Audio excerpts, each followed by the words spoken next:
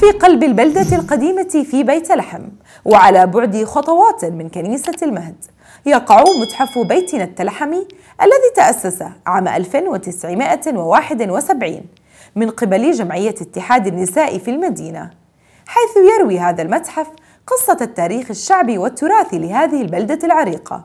وتشتمل محتوياته على أدوات فلكلورية وصناعات تقليدية ومطرزات ووثائق وصور قديمة.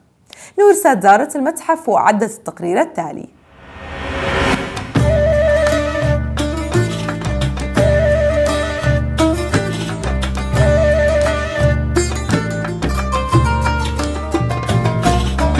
على مقربة من كنيسة المهد في بيت لحم يقع المتحف بيتنا التلحمي وهو تابع للاتحاد النسائي العربي في مدينة السلام. ويعد على رأس قائمة الأماكن التي يقصدها الزائرون عند مجيئهم للمدينة.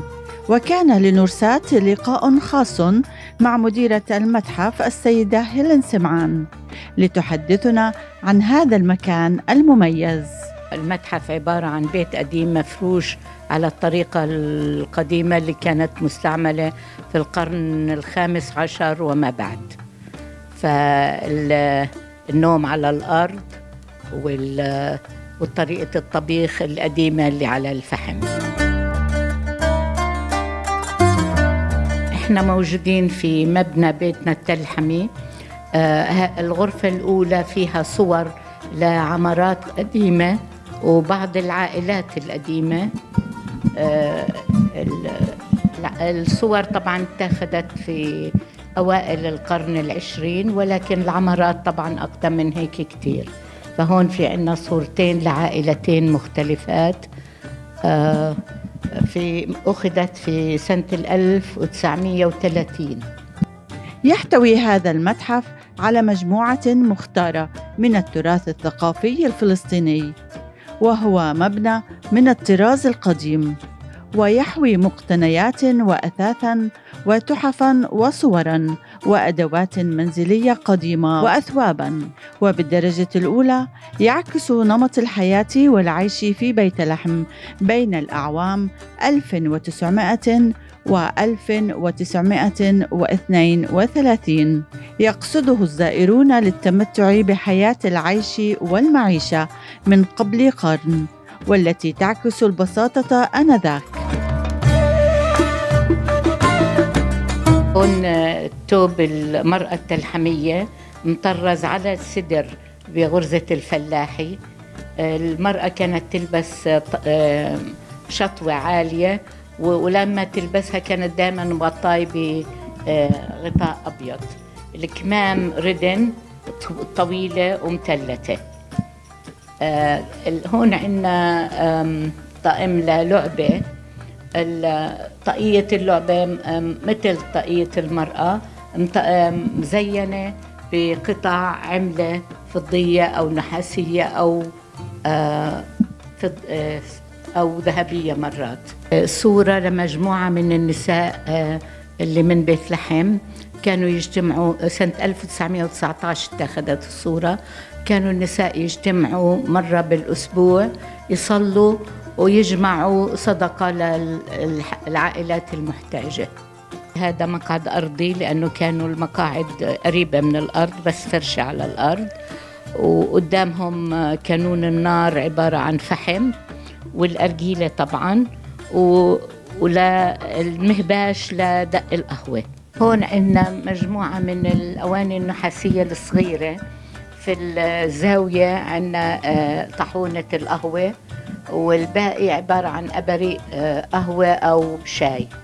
وبالرغم من أن هذا المتحف يدار كمتحف أثري إلا أنه يخدم شريحة من النساء اللواتي يعملن في مجال المطرزات والذي خصص قسم من هذا المبنى لعرض هذه المنتجات اليدوية وذلك للاستفادة من المردودات وتحسين الدخل. هذا القسم إحنا عندنا مركز تطريز للغرزه الفلاحي. معظم تطريزنا مأخوذ من تواب فلسطينية قديمة وبنعيد ترتيبها بأشكال مختلفة. هون عاملين آه، آه، قطع للخوري البطرشين اللي بحطها الخوري على كتافه. آه، لكن عندنا برضو قطع مفارش أنواع مختلفة وألوان مختلفة من المفارش. معظمها منقولة من ملابس فلسطينية قديمة. ويعد المتحف من المباني القديمة المتبقية في المدينة والذي يهدف بالدرجة الأولى إلى الحفاظ على ما تبقى من مقتنيات أثرية تعود لأوائل القرن الماضي. إحنا في الاتحاد النسائي العربي في بيت لحم آه، شفنا إنه كل الأغراض اللي كانت مستعملة قديم الناس ما بتقدر ما بوسعش بيتها ترجع تحطها وبطلوا يستعملوها. فلهالسبب جمعناها وحطيناها في بيتنا التلحمة القديم. ف بعتقد أنا أنه كل مدينة وكل قرية في فلسطين فيها أشياء قديمة. والناس بما أنه بطلوا يستعملوها عمال بهملوها فكلها بتروح للكبب لهالسبب آه، آه، آه، الأفضل أنه الجمعيات تجمعها وتحتفظ فيها لمستقبل الأجيال القادمة.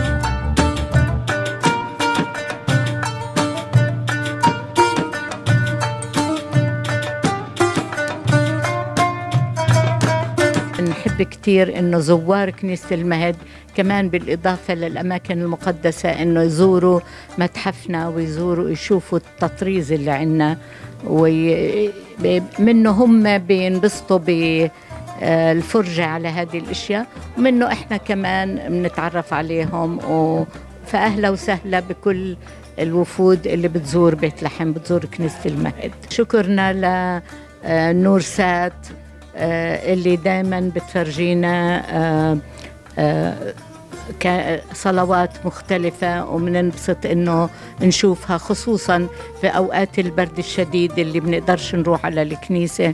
فبننبسط بالأداديس اللي بيعرضوها وبنشكرهم على كل شيء بيعملوه وشكر خاص بما إنهم أجوا وصوروا عنا آه، بيتنا التلحم